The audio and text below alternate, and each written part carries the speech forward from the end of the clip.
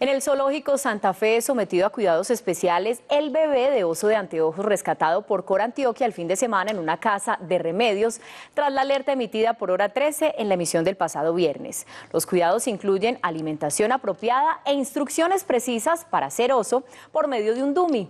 Y es que la autoridad ambiental lo encontró bajo de peso y con riesgos de salud porque lo alimentaban con una dieta casera. Hoy lo visitamos en su hábitat temporal.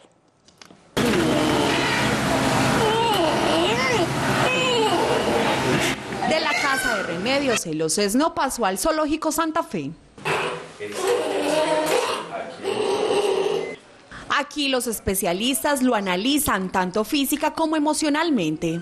Ahora el reto es apartarlo de las personas. Por eso este Dumi hace las veces de mamá oso.